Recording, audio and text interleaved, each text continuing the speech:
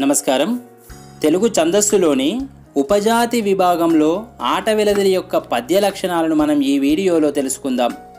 ఆట వెలది పద్య లక్షణాలు గుర్తుంచుకోవడానికి ఆటవిలదిలోనే రాసినటువంటి ఒక పద్యం ఉంది.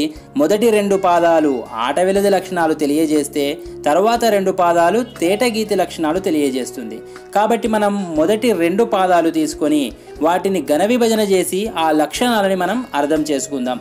ముందుగా ఆ పద్యంలోని రెండు పాదాలు ఇనగనత్రయంబు నింద్రద్వయంబును హంస పంచకంబు నాట వెలది. ఇందులో ఆట వెలది పద్య లక్షణాలు తెలియజేశాడు. ఇనగన త్రయంబు. ఇనగణాలు అంటే ఇనుడు అంటే సూర్యుడు. సూర్యగణాలు త్రయంబు అంటే మూడు. ఇంద్రద్వయంబును. మరి ఇంద్రగణాలట ద్వయము అంటే రెండు. తరువాత హంసపంచకంబు. ఆట వెలది ఇందులో హంస అంటే సూర్యుడు అనే అర్థం ఉంది కాబట్టి మళ్ళీ సూర్యగణాలు పంచకంబు అంట. అంటే ఐదు గణాలు ఉంటాయట. మొదటి పాదంలోనేమో మూడు సూర్యగణాలు రెండు ఇంద్రగణాలు ఉంటే రెండవ పాదంలో మళ్ళీ ఐదు సూర్యగణాలు ఉంటాయి. మళ్ళీ మూడవ పాదంలో మూడు సూర్యగణాలు రెండు ఇంద్ర నాలుగవ పాదంలో ఐదు సూర్యగణాలు. అంటే ఒకటి మూడు బేసి గణాలు ఒకలాగా రెండు నాలుగు అనే సరిగణాలు మరొకలాగా ఉంటాయని అర్థం. సరే ఇందులో మనం ఏ విధంగా గణాలు విభజించి దాని లక్షణాలని మనం అర్థం చేసుకుందాం? ముందుగా ఈనగ అంటే మూడు లఘువులు.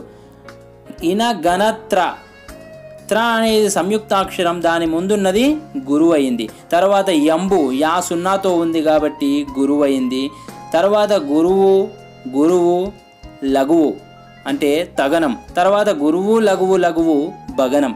కాబట్టి హగనం లేదా హ అన్న గల అన్న ఒకటే. హగనము అలాగే నగనము ఇక్కడ సూర్యగణాలు. కాబట్టి ముందు మూడు సూర్యగణాలు ఉన్నాయి తర్వాత రెండు ఇంద్రగణాలు ఉన్నాయి తర్వాత రెండవ పాదము హంస గురువు లఘువు. పంచ గురువు లఘువు. కంబు గురువు లఘువు. నాట గురువు లఘువు. వెలది మూడు లఘువులు.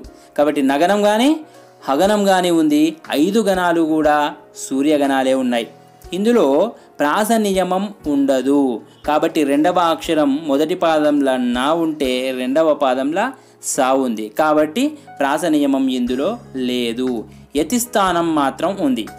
కాబట్టి మొదటి పాదంలో చూస్తే మనకి ఐదు గణాలు ఉన్నాయి. రెండవ పాదంలో కూడా ఐదు గణాలు ఉన్నాయి. కాబట్టి చివరి గణాన్ని వదిలేస్తే నాలుగవ గణంలో మనకి యతి ఉంటుంది.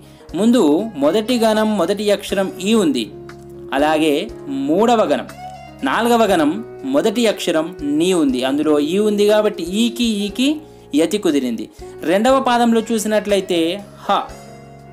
మొదటి పదం హ ఉంది. అలాగే నాలుగవ గణం మొదటి అక్షరం నా ఉంది.